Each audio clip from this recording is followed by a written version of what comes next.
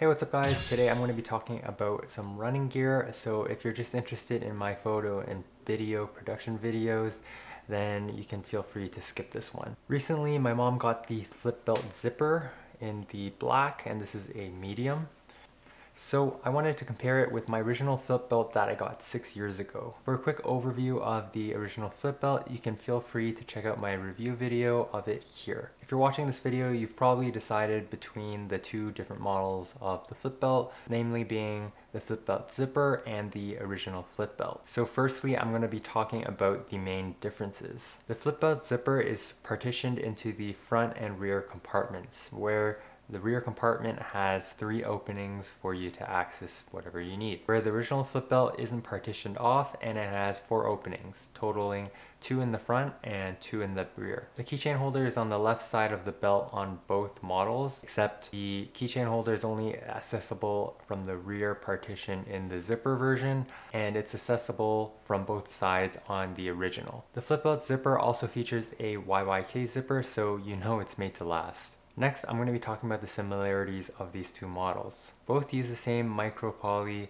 lycra elastic material, and they share a similar double-stitched seam throughout the entire belt. Both have four layers of material where two make up the outer shell of the belt and two make up the inner shell of the belt, which easily dries when you leave it to hang.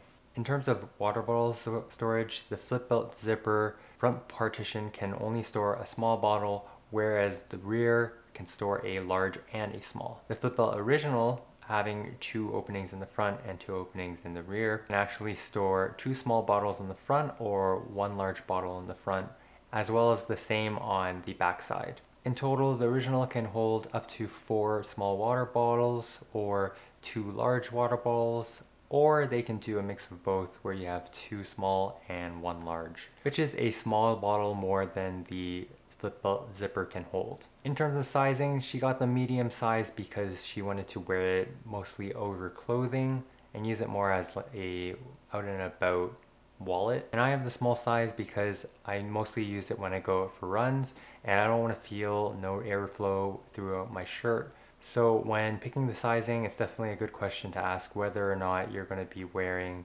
with extra clothing underneath or just against your skin. Here's how the small and medium sizes compare.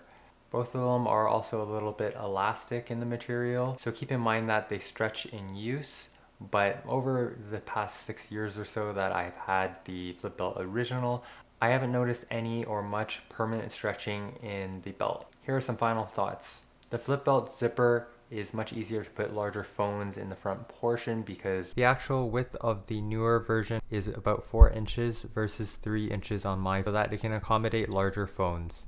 But sometimes I don't exactly love the partition of the flip belt zipper because it's an extra step to access things in your pocket. I can see the zipper as being more secure in the long run if you're going to be going out for longer, especially if you throw in smaller pieces like wireless earbuds, change or extra cash.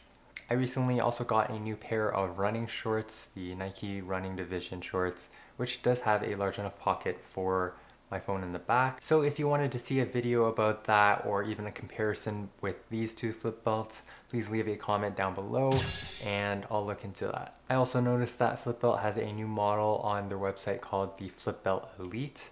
It's something I've also been eyeing, so if you guys are interested in a video of that, be sure to let me know.